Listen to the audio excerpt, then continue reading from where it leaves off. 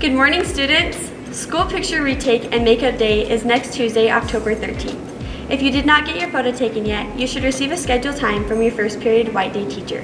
If you purchased photos, you should have received your digital images in your school email over the weekend. Retakes will be taken during fifth period on Tuesday.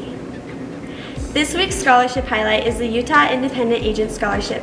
They are offering multiple scholarships ranging from 500 to 2,000 for students who have a 3.0 GPA and are active in extracurricular activities. Check out the Senior Bulletin Board or see Ms. Regan for details. Students, this is a friendly reminder. During the Pledge of Allegiance, please remove your hats. Thank you. Seniors, if you have sent in your baby pictures for the yearbook, email or bring them into Ms. Clegg ASAP.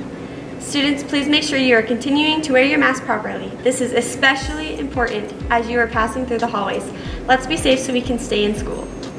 Tomorrow during our online learning day, you will be in charge of your Green Day classes only. Again, tomorrow for Wednesday online learning is Green Day. Have an awesome day.